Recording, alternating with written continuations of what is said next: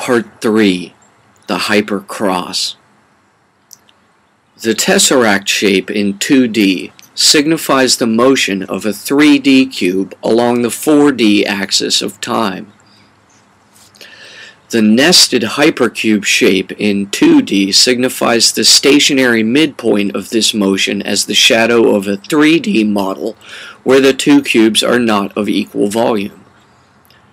At antipode point, seen from above one of the cube's edges, rather than sides as in the nested position or corners as in the tesseract pattern,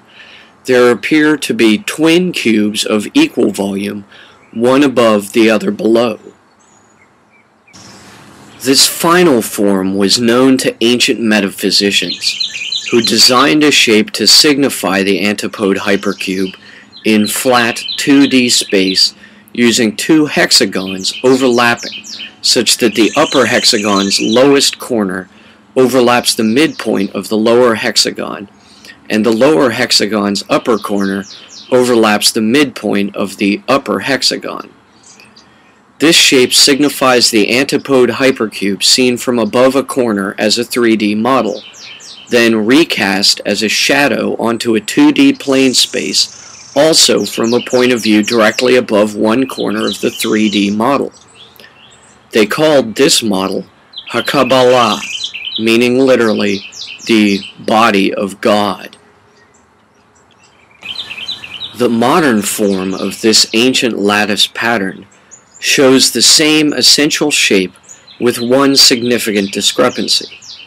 The middle pillar of Sephirot points on the vertical axis have slipped down such that now the lowest point is subtended below the lower hexagon. This symbolizes, for the hypercube, the same unfolding idea as may be applied to tessellating the sides of a three-space cube. Here we see how the six sides of the standard regular cube unfold into a single plane space pattern as a tessellation of the six square-shaped sides. The resulting shape is commonly called the Calvary cross pattern, such that four of the square sides surround a fifth, while below the lowest of these is subtended the sixth square side. When a hypercube is unfolded into a 3D tessellated pattern, the result is called a hypercross. Because the shadow cast by the nested hypercube is the same in plane space as that of a three-space cube seen from directly above one side, the same effect should be expected to occur for the shape of the hypercross, such that it would cast a three-space shadow of multiple cubes, but in two-space assume the same form as the unfolded cube,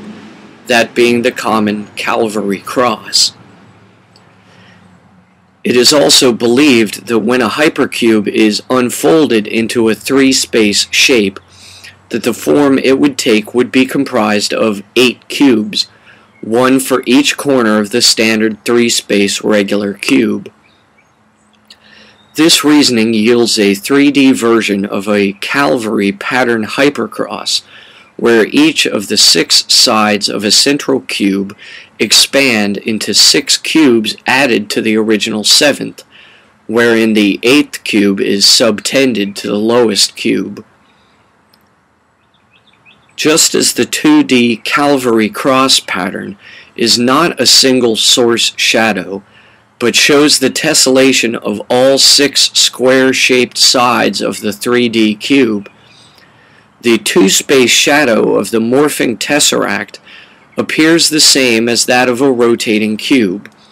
and likewise the shadow in two space of the 3D Calvary pattern model of a hypercross should be expected to show the regular tessellation of six squares of the flat two-space Calvary cross motif.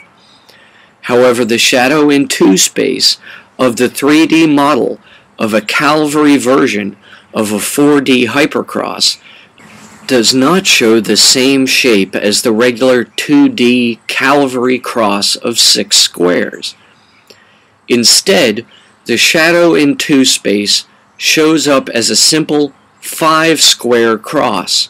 where four squares of equal area surround a central fifth.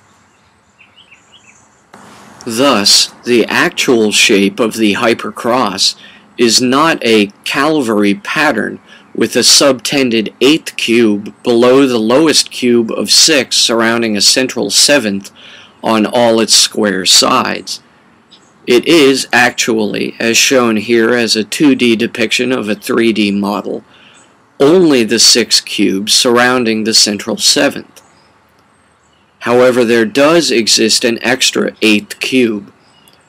Only in this form, seen from above the hypercross corner, as opposed to along its edge as in the Calvary arrangement,